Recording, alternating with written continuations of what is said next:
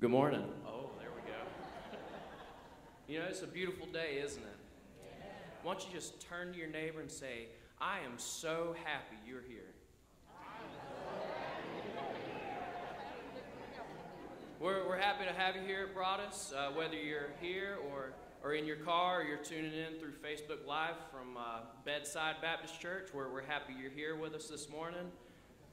And we have a few announcements if you'll open up in the bulletin. Uh, just on the inside right page, uh, today we're going to have Converge, which is our youth fellowship gathering of all the, um, all the campuses and different ministries that we have. So we can all come here, have fun, and play outside and play games and stuff, uh, as it looks like it's going to be a nice sunny day. Also, uh, the Easter missions offering is still collecting, uh, just so y'all are aware. But other than that, there's um, different announcements throughout your bulletin, and if you will, just find a place where you can plug into our church. But let's prepare our hearts for worship. Dear Father, we thank you for this time, God. We thank you for this time where we can slow down, where we can relax, and we can focus on you. God, would you rid us of, of all distractions? Just help us focus on you and, and tune our hearts to your grace, God, as we worship you. In Jesus' name, amen.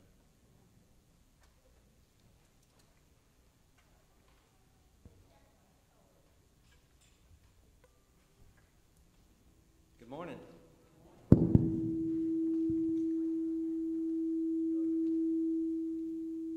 I think our other mic is working.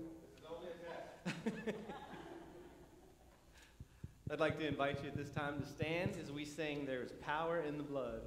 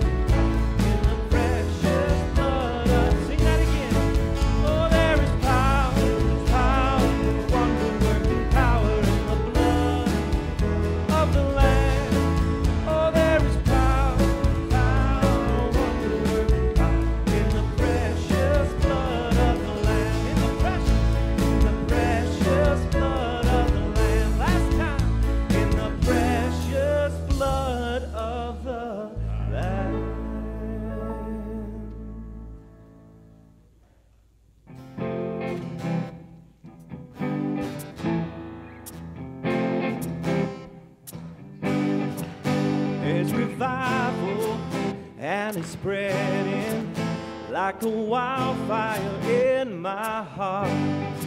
Sunday morning, hallelujah, and it's lasting all week long. Can you hear it? Can you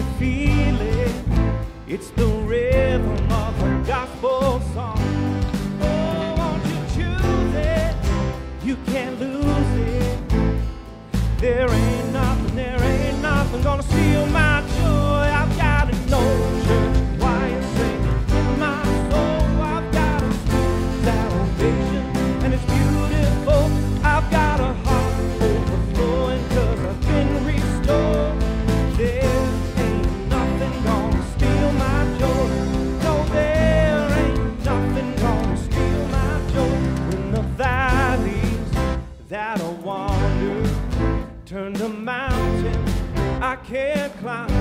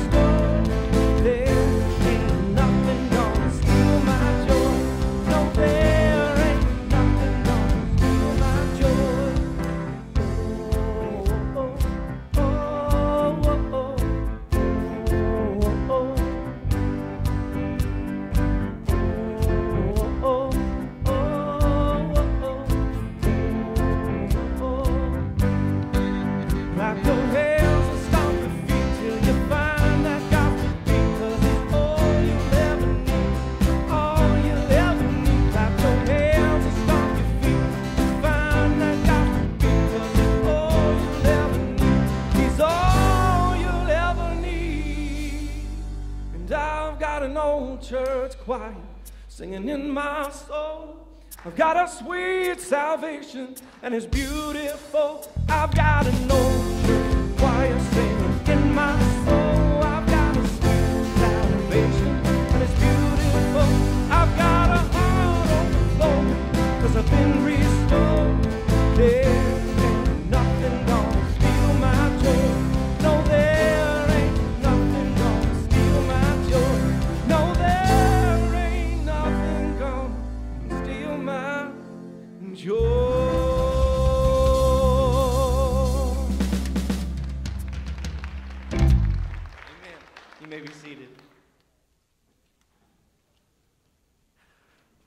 Right, got your blood blood pumping a little bit this morning. I want to invite any children here this morning to come on up with me. We've got some eggs here. Uh, your, your eggs? Oh, your, your eggs. Okay, I'm going to put these eggs over here. That wasn't part of the children's message. I... All right, good to see you guys. Why don't you come on? I was going to put carpet squares around, but I think y'all can kind of spread out a little bit. You can sit with your sister or brother there. You guys come on down. You can even sit on the on the floor if you want. I tell you what, I'll move these. And I'm going to ask, this is John Mason, and he's going to come up to this microphone here, and he's going to read a Bible passage this morning, and it has to do with children. Okay, so I want you to listen to it. So, John Mason, if you do that for us.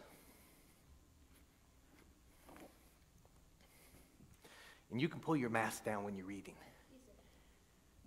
There you go. Hello. So I'm going to be reading Mark chapter 10, 13 through 16. People were bringing the little children to Jesus for him to place his hands on them, but the disciples rebuked them. When Jesus saw this, he was indignant. He said to them, Let the little children come to me, and do not hinder them, for the kingdom of God belongs to such as these. Truly, I tell you, anyone who will receive the kingdom of God like a child will never enter it. And he took the children in his arms and placed his hands on them and blessed them. All right, thank you. That is a really neat story about Jesus during his, his ministry where people were coming, they wanted to hear him, you know, preach and, and teach and stuff like that. Well, one day, I guess some moms and dads said to their kids, oh, let's, go, let's go meet Jesus. I hear he's so nice and he teaches such wonderful things that we need to know. And so they, they went to see him. And when they got close, all these kids started coming up towards Jesus.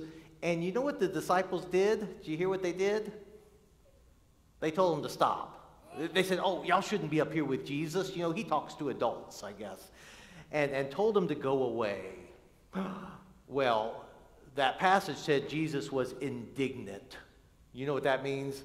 He was, he was a little bit angry. I mean, he, he could not believe that his disciples were telling the children to go away. And so uh, he kind of said, What are you doing? Bring them up to me. And so he brought the, the children up to him, and, and it basically says Jesus gave them hugs, you, you know, and, and then he, he uh, blessed them, which means he just said wonderful things to them that you know, made them feel good and helped them to know that God, God loved them. So it's one of the stories that tells us how much God loves people of any age, whether you're one year old or two or seven or, or 99. You, you know, he, he just loves people of, of every age. And, uh, but imagine how you would have felt this morning if, if I had gotten up and said, oh, you know, children, y'all, y'all come on up here with, with me. And so y'all came out in the aisle to come forward. And old Mr. Buddy over here, maybe Mr. George back there, they hopped up in the aisle and they said, Not you. You sit back down. How would that have made you feel? Yeah, pretty bad, you know. Well, that's kind of what the disciples were doing. But I am so glad that Jesus helps us to know how welcome we are uh, to know him and to, and to love him, and then to be a part of his family. That when we trust him, uh, he invites us to be what the Bible calls part of the kingdom of God, that we can be uh, in, the, in the family of God. So, um, you know, there are some places that you can go that we have a big word, we call it exclusive, meaning they just don't let just anybody there. So if you go there, you have to bring your invitation. Now, you know what an invitation is? I'm going to give you a little, little card. I want to keep that one out. And these are blank, okay? So these don't have your name in them. You can open it up and look at it. And these are just like little invitation cards that you could use if you were inviting friends to a party or uh, you know, even like to come to, uh, to church with you or, or something. So look at the invitation card, but there's some places that you go that when you get to the door, they say, May I see your invitation? They want to make sure you were actually invited to be there. And if you weren't invited, they say, Well, you don't belong here. But the kingdom of God's not like that. Jesus wants everybody to come and, and to know him and to spend forever with him. So these invitations say stuff like, for, meaning, you know, who is it? So, you, you know, if I gave this to you to a party, it would have your name there, the date, when it is, the time, the place, all that information. Well, we know that Jesus invites us to come to him anytime. We can come to Jesus by praying to him. When we come to worship, that's another way that we come uh, and, and we feel Jesus' presence with us and we're with other people uh, as well. But then we know also that Jesus invites us to spend uh, eternity with him in, in heaven. So I just wanted you to know how much Jesus loves you and how much he wants you to, to come to know him and have that friendship with him and that you would trust him. But then also, there's something else Jesus wants you to know. He wants you to know you can give that invitation to other people. That you can say, hey, you know, I know Jesus and he's very important to me. Uh, would you like to know him too? Or, you know, I go to church and I, I learn about Jesus there. Would you like to come? Or maybe we're having a special event or something. So you can always invite other people to, to meet Jesus as well. So let's have a prayer. Let's thank God for this invitation that we have to, uh, to get to know Jesus and to get to know him as well. Heavenly Father, we thank you that you love us and you invite us to be a part of your family, not just us who are sitting here, not just because we're a certain age or anything like that. You invite everybody, that you want everyone to be a part of your family. And so, Lord, we come trusting Jesus and loving him, knowing that you sent your Son into the world for us. And I pray that you would give us opportunities to invite other people to know Jesus as well. We pray in his name, amen. All right, thanks for coming up with me. You can take that. You can actually have it. There you go. Okay.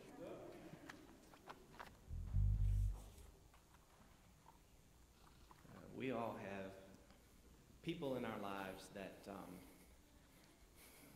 that, that typically move us towards the Lord. And, and with me, it was my granddaddy Jack and my grandmama Ruby. And my granddaddy is, he's in heaven. Grandmama's still here, and she's struggling a bit, which is tough. It's tough for me to see. Um, when I was really little, whenever I was hungry, she'd say, You want some scrambled eggs? It didn't matter what time of day it was. I'd say, Yeah, I love scrambled eggs. And there was, there was something that in North Carolina they had, and this is the only family I've ever known to do this. So when I tell you, you're probably going to go, ooh, gross, but let me tell you something that's good. It's called cheese coffee toast. You ever heard of that? They would take sharp cheddar and you cut it up and then put instant coffee and they'd melt the cheese and you put that on your toast and we would eat that by the loaf.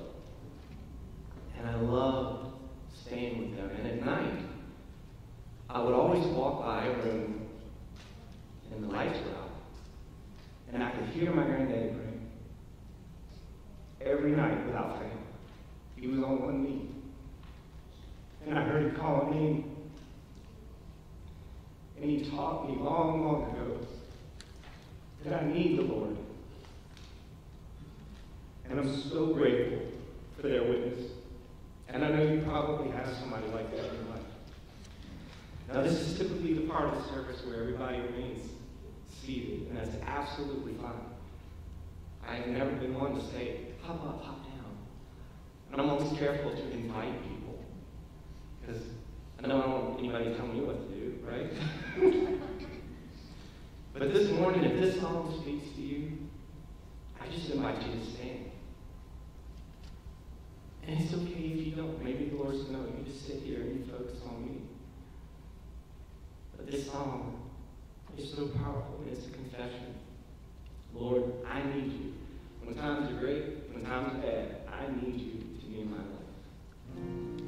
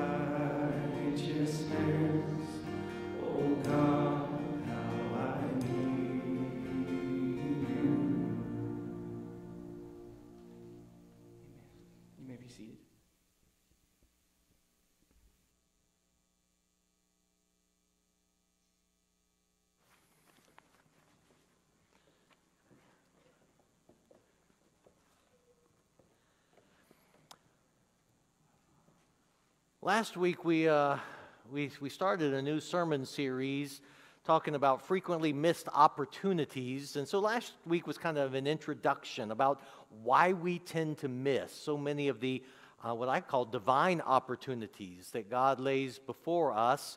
Uh, but then today and in the coming weeks, we're going to be looking at more and more of specifics of what types of, of opportunities we sometimes miss. Um, so today we're talking about uh, the missed opportunity to welcome, or you might say the, the missed opportunity to be welcoming toward other people. You know, reflect with me uh, for a moment um, on a young couple long ago. She was quite far along in her pregnancy, her first pregnancy, when they were forced by a governmental decree uh, to go to another town for a taxation census. And maybe it was that they were, they were happy to leave where they were for a little while because it's possible there was some whispering in town from the busybodies who had been counting the months or uh, you know, the weeks and when the baby was going to be born, when did they have their wedding, that kind of thing. Now, there were rumors, I'm sure, around their hometown of, of miracles and angels the stories being told, but a lot of people just like to think the worst. So, anyhow, they make this what I'm sure was a rather arduous journey of about 90 miles from Nazareth to Bethlehem. But when they get to Bethlehem, the place is pretty busy. A lot of census traffic is in the, in the area, and the Gospel of Luke tells us there was no room for them in the inn. Seemingly, no one rolled out the welcome mat for this young couple. No one gave up their guest room or set them a place uh, at their table. There was certainly no maternity ward in town. And so we think that they probably camped out, maybe at or around someone's uh, barn, and that's where they were when the baby kind of chose its inopportune time to be born. They ended up using a feeding trough as a crib. And of course, the, the baby wouldn't remember all of th- these details, but the Bible tells us that his mother, whose name, of course, was Mary, was pretty good at treasuring things and pondering them in her heart. And so I'm pretty sure she later told her growing son about his rather humble entrance into the world. Now, about 30 years later, that little baby had grown up into a fine young man. He was trained as a carpenter, I'm sure by his father, who was a carpenter, but he always knew that wasn't his true calling.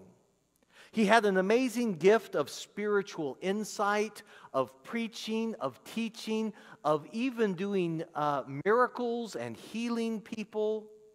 He visited around at a number of area synagogues and then was finally invited to read the scripture passage in his own hometown, then, because they were back at Nazareth. According to Luke's gospel, here's what he chose to read from the uh, Old Testament prophet Isaiah, but this is from Luke chapter 4. It says, The Spirit of the Lord is on me because he has anointed me to preach good news to the poor. He has sent me to proclaim freedom for the prisoners and recovery of sight to the blind, to release the oppressed, to proclaim the year of the Lord's favor. And after reading that, he told the people, Today this scripture is fulfilled in your hearing. Well, initially, many of the townspeople thought it was pretty cool that one of their own young people had grown up to be a gifted preacher.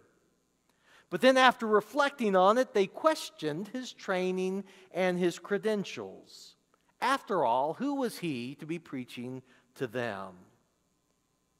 And so, when the young preacher, who of course was named Jesus, he acknowledged that no prophet is accepted in his hometown and began to tell them that there were foreigners who were more spiritually receptive than they were. And that got them kind of hot.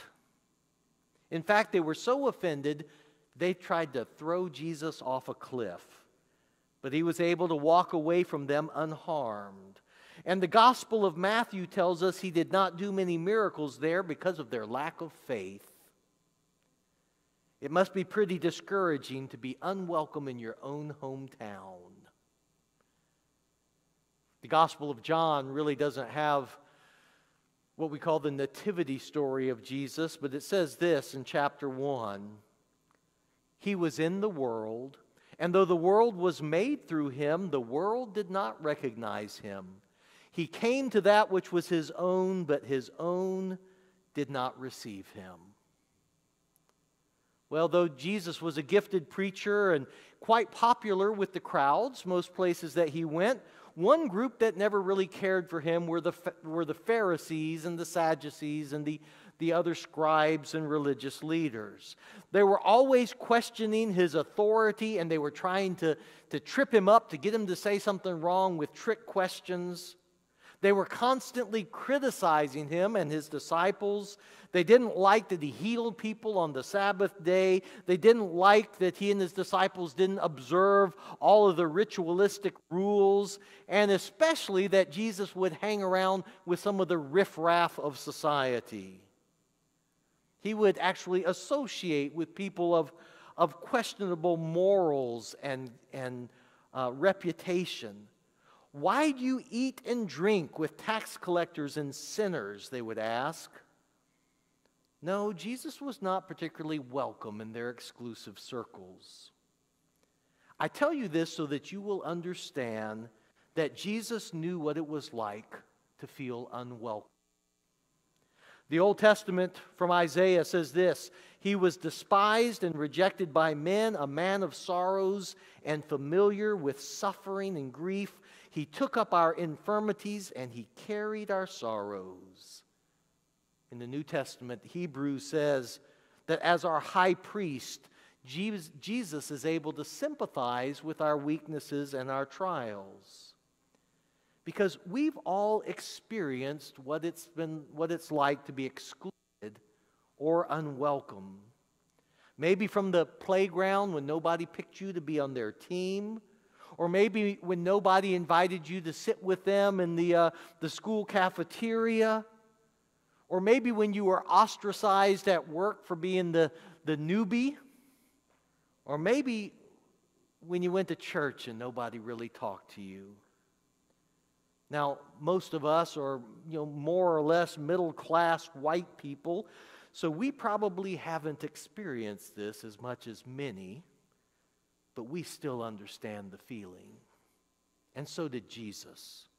So during his ministry, Jesus made uh, the welcome of all people his priority. And to make sure that that universal nature of God's love and acceptance was well understood, Jesus went to great pains to point out those who were often not welcome in their own society, that they would be welcome in the kingdom of God. So Jesus called special attention to those who were considered unimportant people, just not particularly high standing in society. You heard the story earlier uh, at the children's time when John Mason read it about how parents brought their children to Jesus. It's a good example of this. Um, in that case, we're told that it was the disciples who missed the opportunity to be welcoming to those children. The children, it seemed, were, were not yet at the age to be considered important enough to warrant Jesus' time and attention. Now, on one hand, we might cut the disciples a little bit of slack. They themselves had been raised in a society where children were to be seen and not heard. We still use that phrase. But on the other hand, hadn't they been listening to Jesus? You know, I've, I've read that story about Jesus and the children so many times. We often use it with baby dedications. And I really hadn't taken the time to back up a little bit, to look at the full context. But if you go back into chapter 9, that was from Mark chapter 10. If you go into, in, into chapter 9, you find there's a section where the disciples are arguing among themselves who's the greatest in the, in the kingdom. They're, they're being very egotistical. So Jesus, rather gently, is trying to teach them to, to stop being so self promoting, stop being so selfish. So he says to them, if you want to be first, you need to put yourself last and become a servant. and then Jesus did this. So this is Mark chapter 9, verses 36 and 37. It says, He took a little child and had him stand among them. Taking him in his arms, he said to them, Whoever welcomes one of these little children in my name welcomes me. And whoever welcomes me does not welcome me, but the one who sent me. What a beautiful image of, of Jesus bringing forth, bringing forth a child and letting him sit on his lap and saying, you, you need to welcome this kind of people. Now, do you remember adults from your childhood? I, I do. There's some folks who stand out that were so, uh, so respectful, so attentive to me as a child, and they tended to be that way with other young people as well. They didn't ignore you, they didn't talk down to you, but they listened to what you have to, had to say like it was important, whether it was important or not. And they, uh, they treated you like, you like you really mattered. I think Jesus was that kind of person. Imagine how special that child felt when, when Jesus brought him forth uh, and, and talked about him. But then, within just a few verses later in that chapter, all this is happening in a fairly short period of, uh, uh, of time. Jesus talks about children again. So you go down to verse 42 of, of chapter 9. He says, If anyone causes one of these little ones who believe in me to sin, it would be better for him to be thrown into the sea with a large millstone tied around his neck. Now, that's a pretty bold and graphic warning about how important it is to nurture the faith of children. Well, then just a few verses later, you have the disciples turning these children away from Jesus. They just didn't get it. And I hope when Jesus rebuked them, the disciples, that they took, uh, they kind of took that to heart, that they watched Jesus hug and, and bless the little children, and they learned to value them.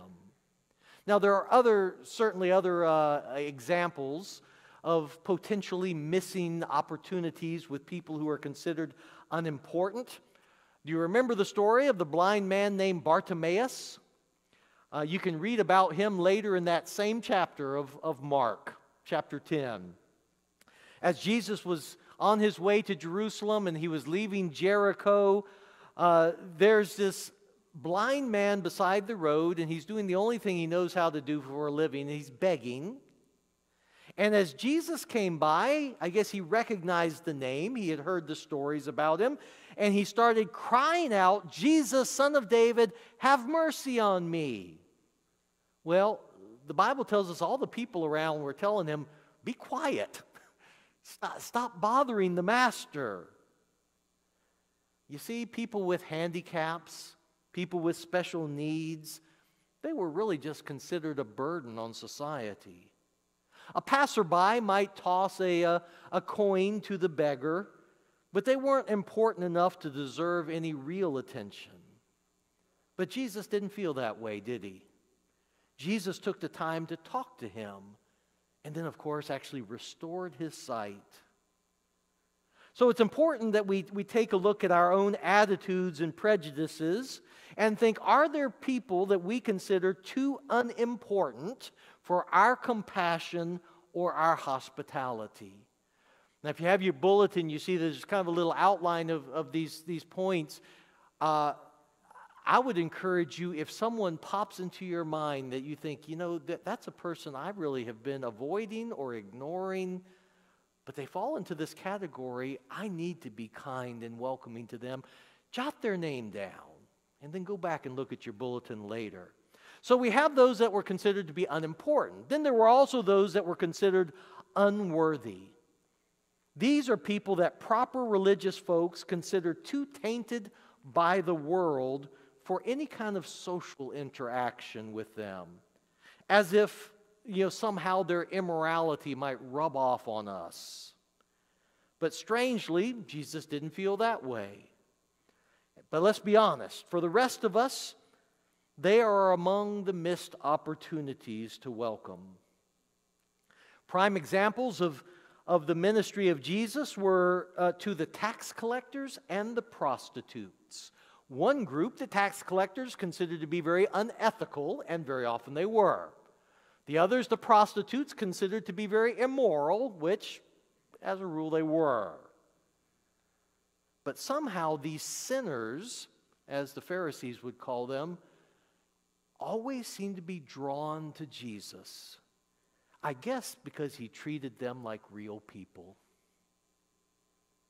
The Pharisees and religious teachers didn't like that Jesus had chosen a tax collector, Matthew, to be one of his disciples.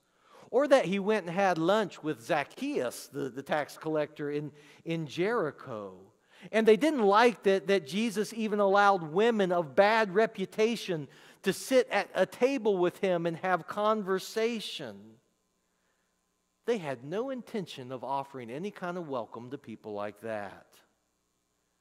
But Jesus insisted that he came to seek and to save those who were lost. Jesus also called special attention to, to people who were, we might just say, inconvenient.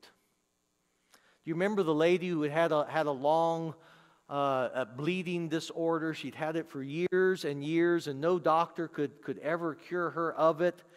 And she heard that Jesus was coming through, and Jesus was on, in a hurry. He was actually going to, to, to heal someone else who was about to die. So he had something he needed to do. But in the hustle and bustle of the crowd, this lady says, You know, if I can just touch his robe, maybe there'll be a miracle for me.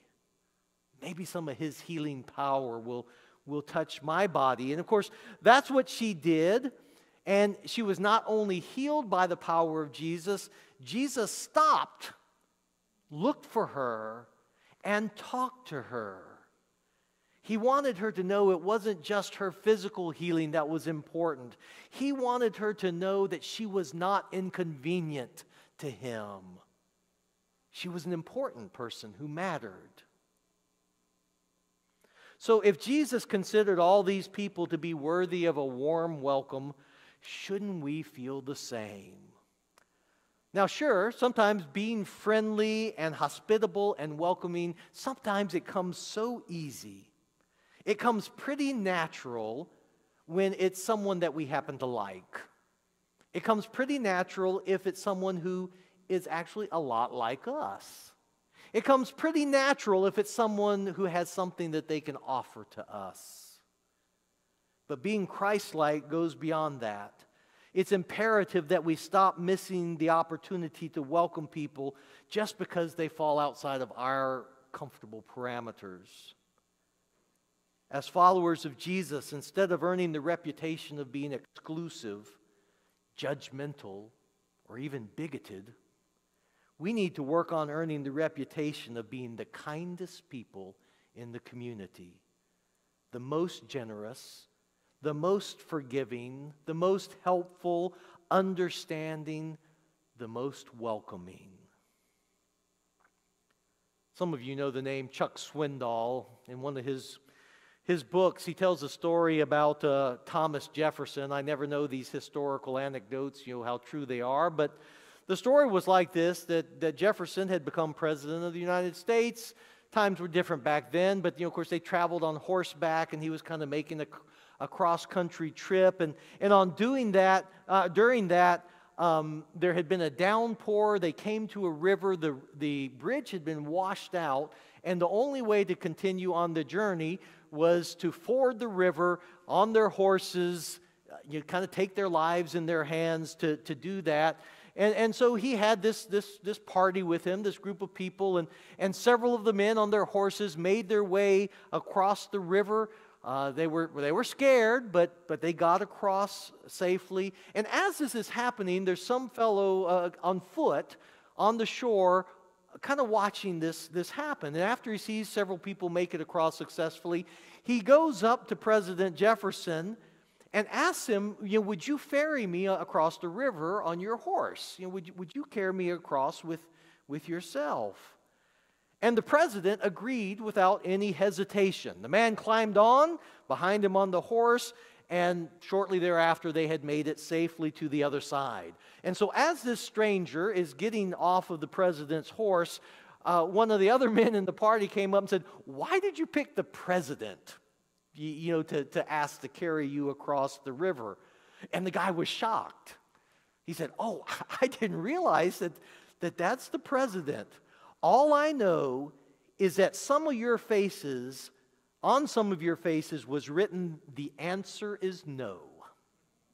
And on some of your faces is written, The answer is yes. And his was and is yes face. Our faces, our words, our body language, it needs to make us the is yes people. Now, I want you to understand this about being a welcoming person. Welcoming does not mean that you give up your rights to set the parameters for the uh, relationship. You can't be all things to all people. God will give you the discernment and the wisdom to set the boundaries in a relationship, but I'm also going to tell you it usually leans to the side of compassion. But you still are able to, to do that. Also, you need to know that being welcoming does not mean that you become best friends with everyone. That is just simply impossible. From time to time, someone's going to come into your relationship circle who will become a friend for life. And what a blessing that is.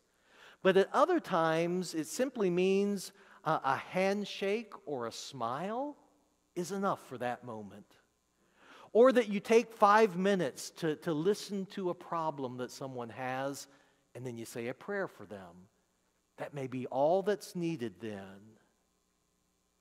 It may be that someone just needs to know that they are welcome in the family of God. So you scoot over in your seat so they have some room.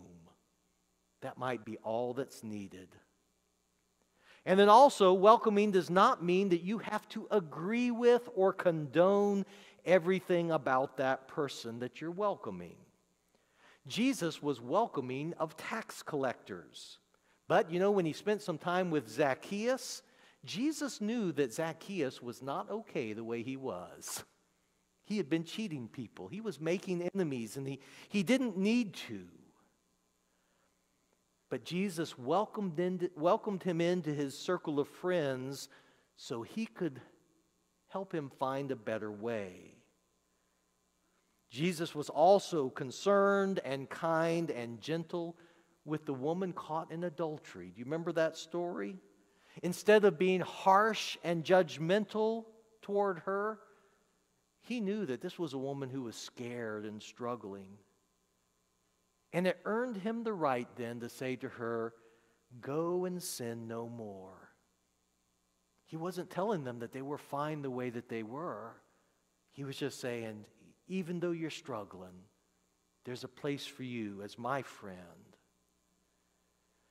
Being welcoming doesn't mean you approve of everything about a person, but it does mean that you make it perfectly clear to them that you value a relationship with them, that they are worthy of your time and your attention and your compassion, and yes, even your acceptance as a child of God. As a church and as individuals, let's make a point to welcome others as Christ has welcomed us compassionately, unconditionally. That's how people are drawn to the Savior. Jesus will do the transformation work, not us. And though families, you know, can sometimes outgrow their house and have to get a bigger one, the kingdom of God is plenty big. The family of God is never going to grow outgrow the kingdom.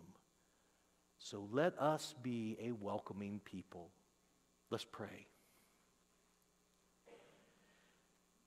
Heavenly, Heavenly Father, we come admitting that there have been many ch- times that we have missed the opportunity to welcome somebody in, to show them a kindness, to, to be a friend, to shake a hand, to say a word of encouragement, to give an invitation.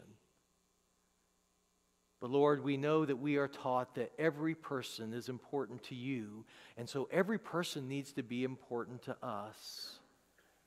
I pray that you would make us a part of this, this, this ministry of outreach, of, of reconciliation, this ministry of calling people to come into the family and meet the Lord. And we thank you, Heavenly Father, that you have welcomed us, that we know that we are important in your sight. In Jesus' name we pray. Amen. We're going to sing together, Savior Like a Shepherd Lead Us, one of my favorite hymns. And as we sing, take, take a moment, just kind of look in your own heart and, and think of someone. And, and you know, you've got a week ahead of, uh, ahead of you before we meet again. So think of someone that maybe you should make contact with. Maybe you should invite them to come to church if they feel comfortable with that. Uh, um, or maybe just that you would make a phone call and let them know that you're thinking of them. Um, but let the Lord speak to you and, and then keep that in mind and act on it this week. But then also, if you have a decision that you want to share publicly about your faith in Christ or your relationship with the church, I'll be up here at the front while we're singing. You're welcome to come and talk with me. Let's stand and sing.